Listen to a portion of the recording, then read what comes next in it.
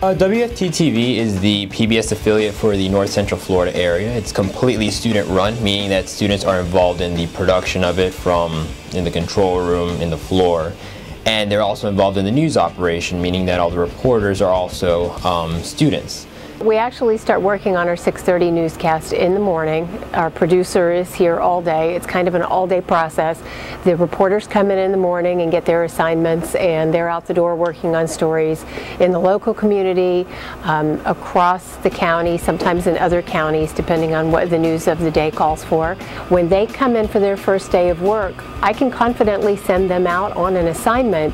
They go out, get the story, they bring it back, they've got the video, they've got the facts, they've got the writing, and they sit down and put the story together the way any of our other reporters would. Because we decide what we're going to tell people every day is the news of the day. makes me want to step the bar up even more. It makes me want to put out a really great product and be able to say, hey, this is my show, this is what I did, and I'm giving it to you so that you can enjoy it as well. We're doing it for our audience and we're doing it for the people it's it's very very important that these people are able to get the news. And although it is a lot of stress and pressure it's actually a lot of fun at the same time. And that's why I love working here at WUFT because I get all of that experience and you know my friends and family get to watch our show and say hey this was this was a great job. Our students have the same experience here that they would have in the real world.